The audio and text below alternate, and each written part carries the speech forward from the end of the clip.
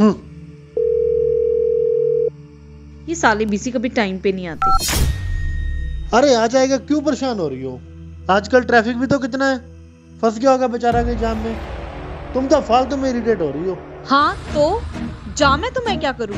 ये तो उन्हें ऑर्डर लेने से पहले सोचना चाहिए था ना। अब हर कोई तुम्हारे जितना इंटेलिजेंट थोड़ा ना है। हेलो हेलो मैम मैं जोमेटो से बोल रहा हूँ आपका पार्सल लेके आया हूँ। अरे भैया कब से मैं आपका फ़ोन मिला रही हूँ? फ़ोन क्यों नहीं उठा रहे? मैम वो बाइक चलाते वक्त पता नहीं लगा। रियली सॉरी मैम मैं आपकी लोकेशन पे आ गया हूँ आप प्लीज़ नीचे आके अपना पार्सल ले लीजिएगा। क्या कहा? पार्सल रिसीव कर लो। मतलब मैं नीचे आऊँ? पागल हो क्या? कंपनी डोर टू डोर आने के एक्स्ट्रा चार्ज करती है। सीधा थर्ड फ्लोर पर ऊपर आओ। मैम प्लीज़ आप आ जाइए ना मैं ऑलरेडी लेट हूँ। मैंने और भी पार्सल डिलीवर करने जाना है। तो मैं क्या करूँ? आप ऊपर आके डिलीवर कर रहे हो या मैं ये ऑर्डर कैंसिल करूँ? अरे बस कर। नहीं नहीं मैम ऑर्डर मत कैंसिल करना। मैं आता हूँ जी। जी। इसकी बाप की नौकर हूँ क्या? जो ऑर्डर भी मैं नीचे जाके रिसीव करूँ? अबे इतना क्यों रूड हो रही हो? थोड़ा लेट ही तो हुआ है। अब लेट के चक्कर में जान लोगे क्या उसकी? मुझे मत समझाओ। तुम तो चुप ही रहो।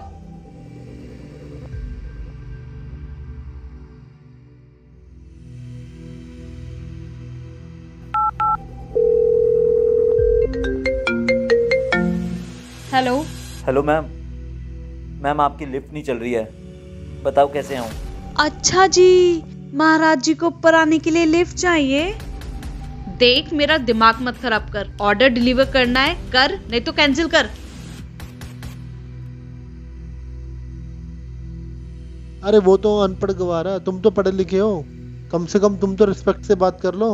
वो भी तो एक इंसान है। रिस्पेक्ट से? हाँ बहुत एसएसपी लगा है ना। जो रिस्पेक्ट से बात करूँ।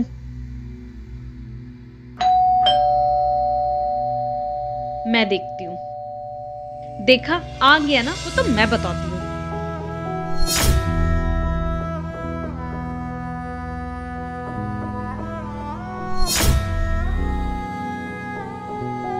मैम आप मैम आपका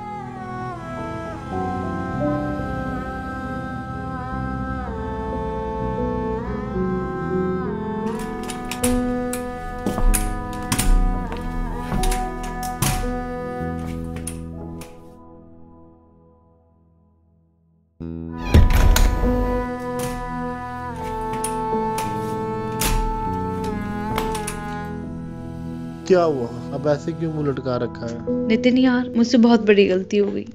मैं तो कब से तुझे समझा रहा हूँ? प्यार से बात कर ले प्यार से बात कर ले। लेकिन तुम कहाँ सुनती हो? तुमने तो पैसे दे रखे हैं ना बेचारे को।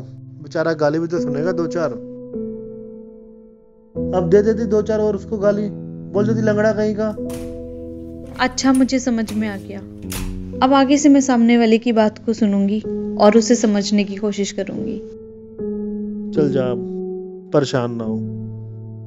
एक दो पीस मेरे को भी दे दे।